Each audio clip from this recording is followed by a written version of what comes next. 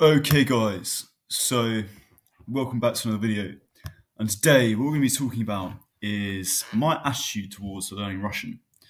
Now, when I've spoken about languages on this channel before, I've been very sort of very def- uh, defiant about my attitude towards Russian, or not not not Russian, towards just grammar generally. Um, so I think grammar is most of the time, if you just want to acquire the language, it's a real no go.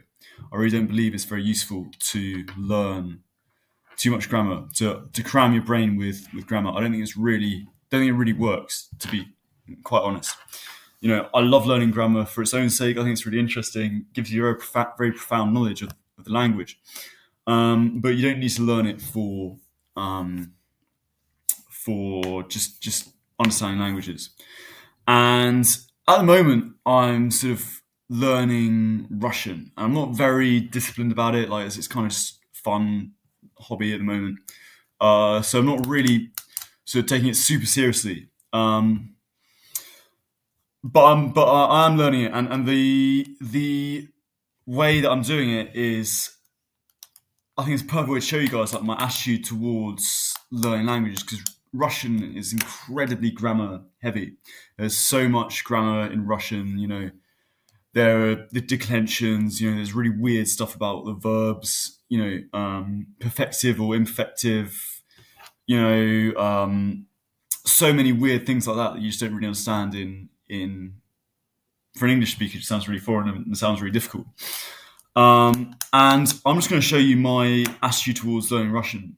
Um, in light of this, you know, because you think, oh, you sure you need to know a little bit of Russian to like, really understand all the complexities of the. You need to learn a little bit of grammar to understand these complexities. Um, but I'm going to show you my system for, for learning Russian, and it's just exposure. So I don't know any endings for cases. I don't know any like conjugations for verbs. All I'm doing is this practice. And you know, I'm still at a very beginner level with Russian. Like I say, I'm not taking it super seriously. But even if I was taking it more seriously, this is pretty much what I'll be doing. So I'm just going to go through my method with you guys. I'm going to bring up the uh, notepads that I'm going to be writing on. So all, all you're going to need for this, if you, if you, if you like what you see, all you need is just a notepad, uh, a pen. Um, I've got a Sharpie because so you guys can see. And just some sort of content in language. So I've just got this um, this guy uh, Easy Russian, uh, which is it's beginner content, um, but it is still native speakers speaking Russian fairly fast. Uh, so it's pretty, it's still like pretty authentic content. I don't, again, I don't really believe you need to spend loads of time with really basic content with people um, talking slowly. I think it's much better just to jump in the deep end. So anyway, here we go. We're to go through it. Uh, I'm just to show you what I do. So to start with, we're just going to play a little bit of the um, of the audio. Привет, дорогие друзья. Okay, that's literally all. So first thing I'm going to do, now it's very helpful here, has it written out, is I'm just going to write down what he just said. So, привет.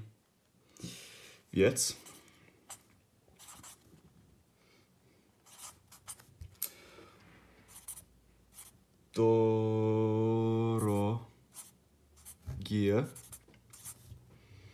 дру, друзья. Uh, so that's that's it. Uh, like if you don't know the Russian alphabet, it doesn't really matter, but you know uh, that sort of looks the same, right? That's that's all you need to know. Um, so I've just written that out, and then I'll just say it out loud. so I'll just say "Привет, дорогие друж, друзья. And that's probably very bad pronunciation. So what I'll, do, I'll then do is I'll click back. Привет, дорогие друзья. And then I'll also correct the um, pronunciation as many times as I need. So, Привет, дорогие друзья. So you see, you don't really pronounce that last E, that is the way I was pronouncing it. So I'll just make little adjustments to my pronunciation. Привет, дорогие друзья. Again, I don't really I'm not writing down any. I'm not researching any of these vocab. You know, um, what's good about this, that, like this kind of content, is you have the translation underneath. So, you know, "привет" it says is hello. Uh, "друзья" is friends, and so dragi is like dear. Uh, so hello, dear friends. But I'm not massively fussed about um, chasing up like what means what exactly. Uh, in this instance, I do know that that um, what privyet means, and I know what druzia means. Uh, I don't know what um, dorogi means, but it doesn't matter. That, that's that's the real thing I'm getting at. You know, there's so much I don't understand here. If I get another pen, you know, I don't understand what's um, why there's a zia. You know, this ending here. I don't understand why there's that ending there. It doesn't matter. It doesn't matter. Um, all, all I all I do know is I know the word drug is means friends. I recognise friends there, and then it corresponds to. So I'm, I'm like, oh, okay, so it must be in the plural, which is in this instance druzia. You know, you don't really know. I could go away and research the word druzia, and it'd be like, oh, this is the vocative plural. You know, I, I don't, I don't, don't even know if they have vocatives in, in Russian, but you know, it doesn't doesn't matter. All that matters is I just recognise that in this context, that word means druz, uh, friend. Uh, so we'll do a few more examples, and you'll get into the flow of what I'm trying to do here a bit more. Привет, дорогие друзья, и до Okay. Um, I добро пожаловать uh, в новый выпуск Easy Russian. So, again, like if you speak Russian, if you know Russian, like you know, you'll know that I'm, I'm not pronouncing these words very well. Um, but all I'm doing is just getting it into my head. Okay, so I dobro. požalovat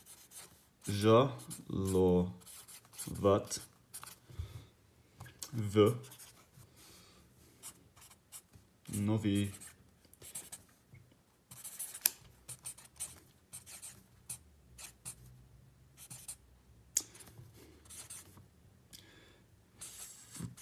Busk. And easy Russian, it's just written in Roman characters. Russian. Okay. Uh, now I'm just gonna let hear him say it. добро пожаловать в новый выпуск Easy Russian. Okay, and then I'll just say it again. И добро пожаловать в новый выпуск Easy Russian. Okay, I'm happy with that. Next one.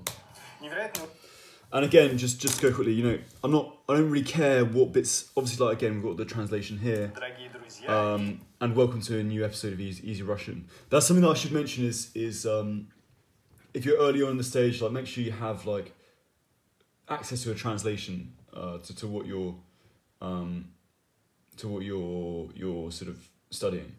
So, but again, like you know, I'm not too fussed about recognizing what's going on here. I mean, I know that dobro pozdravljat means like welcome because I, you know, you you just see that if you go to like uh, an airport, you know.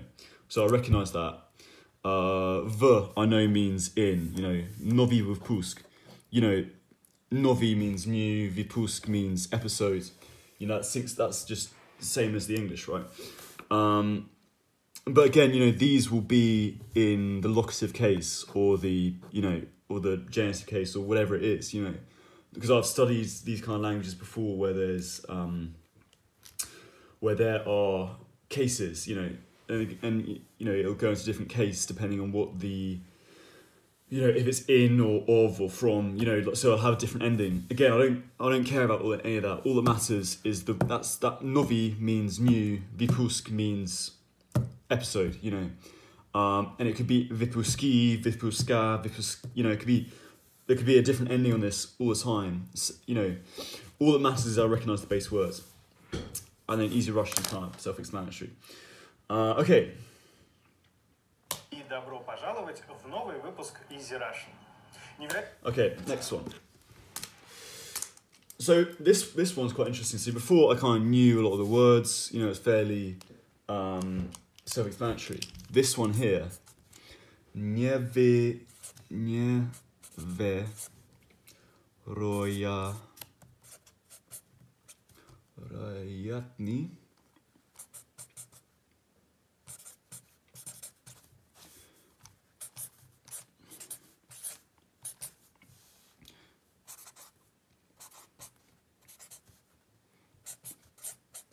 roja, rojatni. Puska. Nevier, and now I'm just going to say it again. Nevierojatni успех выпуска. Let's see how he says it. Невероятный успех выпуска, в котором я рад пожаловать в новый выпуск Easy Russian. Невероятный успех выпуска, в котором See, it doesn't even sound recognizable to what I was добро saying. But, that, пожаловать в новый выпуск Easy Russian. then again, that, that, does, that doesn't matter. Невероятный So again, this one's quite interesting. Um, so obviously neredne nere nere neverojatni means u uspech, or how you say it. Obviously, this means incredibly successful, as you can see from the translation. And here, again, this is the perfect example, Vipuska. You know, we recognize we had that a minute ago with Vipusk. So, you know, and they both mean episode, as you can tell from here. So again, this is what I mean. There's a different ending. There's an A on the end of the of Vipusk where there wasn't here. Um, you know that was in Vipusk, the Vipusk. You know this is just Vipusk. You know it's like, and there'll be a reason why it's got an A on the end. You know because it's the norm, the nominative of the sentence, or you know there'll be some reason for it. Um, you know you could explain it grammatically, and if you're a beginner in the language, you'd spend several you know, if you've been taught by someone who wasn't me, you'd spend several several weeks, you know, studying why is that A at the end, you know. Um, it doesn't matter for us. For our sakes, this is, oh, it's a perfect example. You recognise the, word Vipusk. It's got an ending that you don't really need to worry too much about. And again, these words, you know, they're not familiar to me.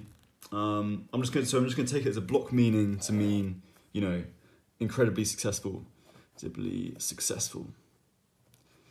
I don't know if that means incredibly, that means successful, or the other way around. But again, for my purposes, it doesn't matter because all I'm doing is just getting exposure in the language, and that's all that matters. Okay.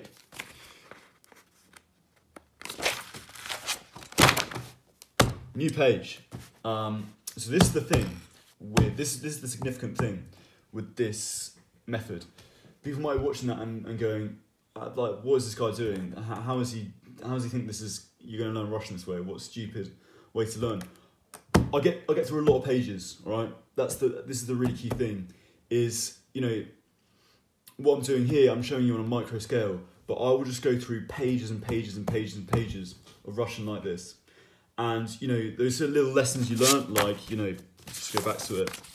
Um, you know, oh Vipusk, we recognise Vipusk here. You know, uh, these little lessons they just build up the more you do it. Um, so we'll go on to the next one now. Okay, v którym ja zival vam Okay, again, you know, my pronunciation is not great, but it doesn't matter, we're just getting it down. I'm getting used to the language, I'm getting used to the sounds of the language, I'm getting used to the, the vocabulary, I'm getting used to the structure, and it's all just coming together in a really beautiful way. Raskayan, Raskazival, Raskazival, Van. Okay. So, which in which I told you. Okay, so I recognise I here. That, yeah, yeah means I. I've, I've seen that before, so I recognise it. I don't know what Raska raskazuval means. I've seen it before, but I'm assuming that it's after the words. After the word I is usually a verb in Russian. That's just something I've observed from doing this. So that's probably going to mean to- be told. Again, raskoval, that's a separate ending that's for the, you know, whatever tense it is or whatever person it is, whatever number it is. It doesn't matter to me. All that matters is this means told. You know, I'm I'm not going to go down here and start parsing it. Uh, You know, it doesn't matter. And vam, I recognise that that's that I've seen that before, so that means you. And then kataram, I've never seen that before, but we recognise v from from earlier. We go back to here. We had um, v novi vipusk in the new episode. Go back here. V kataram. Okay, so v must mean in, and kataram is the word after it. So again, I'm guessing, but I'm guessing probably correctly that this means which. So, in which I told you is my guess. Now let's see how he says it. котором я рассказывал вам о выпуск Easy Russian. Невероятный успех выпуска, в котором я рассказывал вам о So, w котором я разговив- рассказывал вам. Again, I'm not getting perfect pronunciation, I'm not getting everything that he's saying correctly, but I'm just, um, I'm just sort of topping up sort of little things here and there that he, how he pronounces it. Um, and and we, when I'm pronouncing it, I'm not not doing it so much so that my pronunciation is good. It's more so just I just recognise how this is said in Russian. That's that's, that's the aim of it. Okay, next sentence. о нескольких книгах на русском языке. Okay, let's write that down. О нескольких нес нескольких Kich, Knig, Knigach,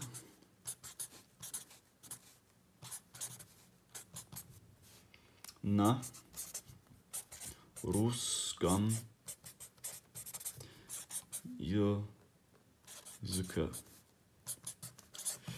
Okay, now you guys, you said, even if you never studied Russian before, uh, you guys can sort of piece together um, do a similar process here um, that I'm doing. So, you know, we look at the translation, the translation for this, or Nisko, Nisko knigach na ruskom uh, uh, about several books in Russian. Okay.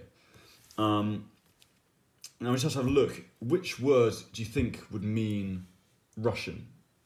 Um, now uh, this might not work if you don't understand it, but this this word means ruskom. Is that's how you pronounce it, right? Ruskom. So you know that's probably gonna be the word for Russian, right? That just kind of makes sense. Um, and then na that means in. Uh, Yazuka means um, language. Um, and then kniga, that means book. And again, I've just picked, I've, I've never looked up the word kniga in my life. I've just I've just recognised it from other examples where I've been able to infer it. And then neskolkich, well that's the only word left, so maybe it means several. Probably means several. And you know, again, I don't like to get into grammar too much, but there, you know, there's both a sort of ch sound at the end. Um, so that probably means um, they, probably, they probably go together to mean several books. That would, that would make sense. Um, now I'm putting these words together here, Ruskom and but that have different endings. You know, why do they have different endings if, if they agree with each other? Um, I don't know. I don't know. But again, it doesn't matter. It doesn't matter. You know, um, all that matters is I'm just I'm just soaking up. I'm just observing things. And about okay, again, like you know, some of this might be wrong. It seems a bit weird, but or or makes sense that that would mean about in this scenario. Um, okay, and now let's just hear him say it again. Вдохновит, которым я рассказывал вам о нескольких книгах на русском языке. Okay, о нескольких книгах, книгах на русском языке. Языке. Again, like, you know, I'm just picking up small things here and there that to just get it into my head. Okay, next page, next page. You see what I mean, guys? Like it's quick. It's quick. I'm not. I'm not hanging about. I'm just getting through as much of it as I can in almost as, as short a space as I can. You know, I'm, I'm writing down the sort of English here to sort of show you how I do it. But when I'm when I'm doing it on my own, I, I, I don't even sort of write down my observations about the English. I just write it down. How does he say it? Okay, next one, next one, and just constantly repetition. Uh, and you can just see how much this builds up. Okay, we're going to do a few more so that you just really get a sense of, of kind of the cyclical nature of this progress, um, of what, what's going on here, this process.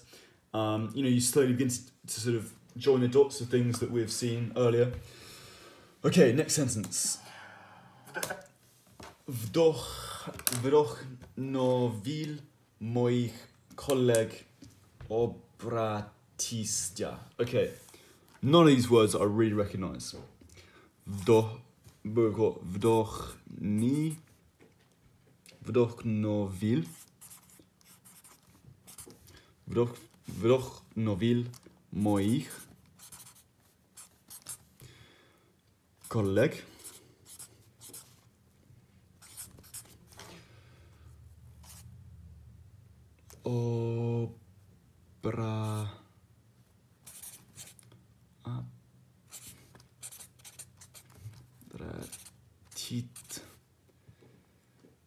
Obratitsia. Okay. What the hell does this mean? Okay, inspired my colleagues to contact me. Okay, I don't recognise any of these words. So what? So what do I do in this case? Um, well, you know, the great thing about Russian, this is a great example of it, is that there are actually a lot of words have been adopted from French, um, and so often, or and English, to be honest. So a lot of a lot of words they'll be spelt, you know, in, in a to match like the Russian um, pronunciation, but they they're from um, French words that we or, or English words or French words that we also have in English. So the word colleague here, you might think, you know, what word means colleague? Um, but actually, if, if we sort of um, put that into English, into Latin characters, colleague, oh, colleague, there we go. Um, you know, the, the, Russians just spell things in a more like consistent way, um, in a more, uh, um, in a more, uh, what's the word, like literal way. Um, okay, so we know that means colleague. Great. Um, what else can we make sense of? Moich. Well, I know that moi means my, and my colleague is is um, is in the English translation. So, what what's the likelihood that that means my? Probably quite a lot. Again, you know the, the what's going on here. There's an ch sound there. There's not there's not one there. You know that doesn't make sense. But they those two must go together. Um, and then here's the situation. So we've got two words left. We've got vdoch novil and obratitsia. You know, and you might say, okay, how do you work that out? Here's the great thing, guys. I don't. I don't know which word means contacts and which word means inspires. But one, one of them will mean inspired, one of them will mean contacts we don't need to worry about that. All we need to worry about is just getting down what we can, which is this bit here. This bit, you know, we understand, great. Let's not worry about the rest of it. Let's not complicate ourselves more than we need to be for now. Um, okay, we're going to do one more example. Моих коллег обратиться ко мне за... Ко мне с, с запросом стелат. Okay? Ко мне меня с запросом сделать. Okay, What words do I recognise from this? Um, Munya. That means me, right? I just know that. Um, cool. No idea what that means. Uh, zaprasam stelat. And of course, ask me to make.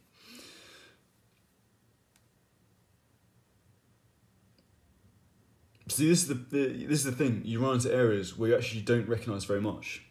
So you know, leave it. I don't, I don't know what what that rest that means. Just go on to the next sentence. Pro. This is the last one, guys. Proje video o muzykę na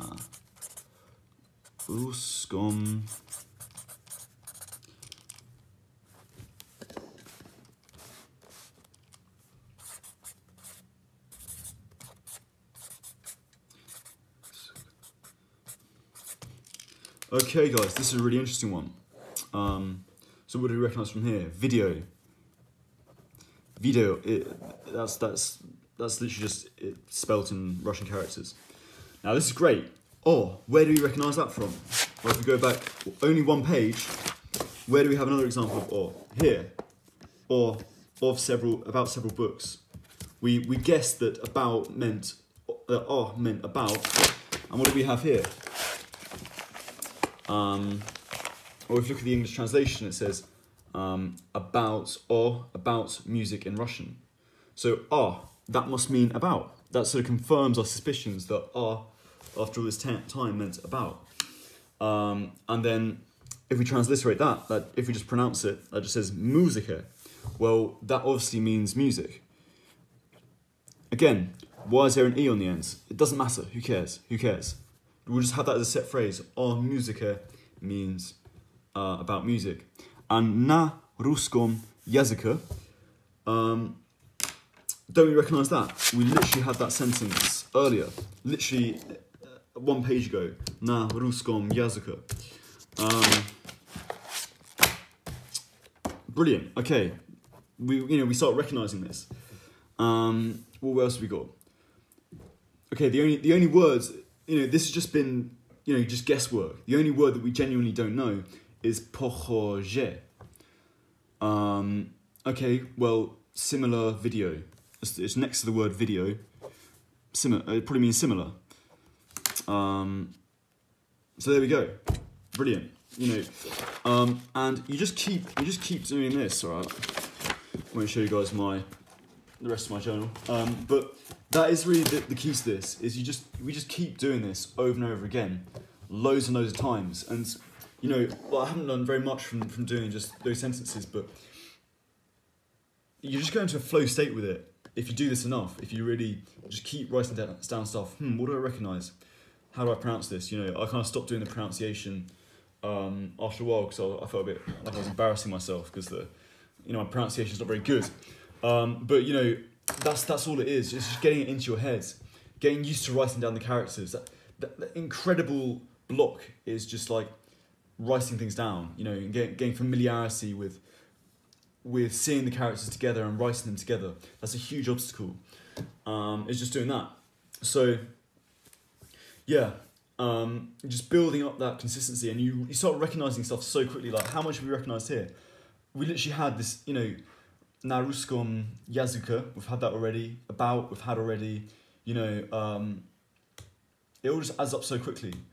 Um, you know, Vipusk, we've had that word twice. V, we've seen that twice.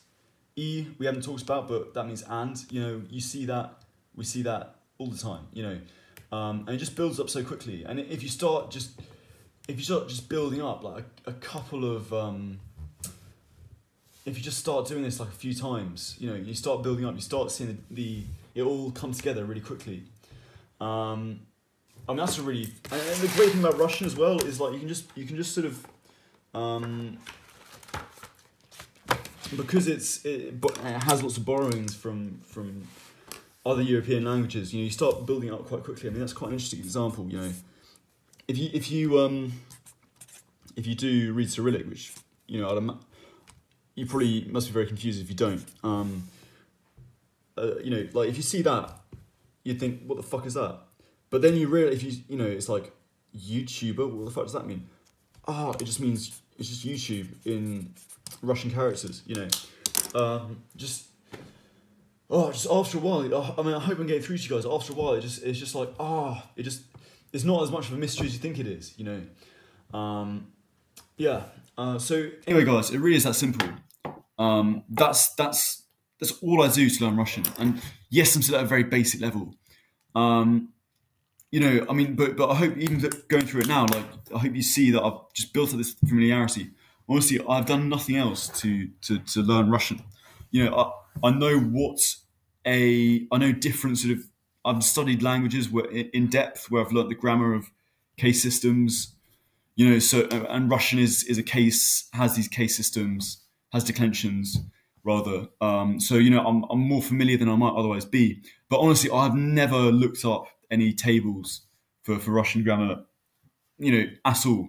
You know, I, I don't know what declensions they really have. I know they had the accusative, the dative, they have the, the instrumental, you know, but I don't, I couldn't really tell you, like, I couldn't really list it off to you. I couldn't recite, um, you know, um, different nouns. Like, with with Latin, if you ever studied Latin, it's like oh, it's um, you know, servus, servu, servus, serve, servum, ser, servi, servo, servo. You know, like you just kind of you just recite all these different puella, puella, puellai.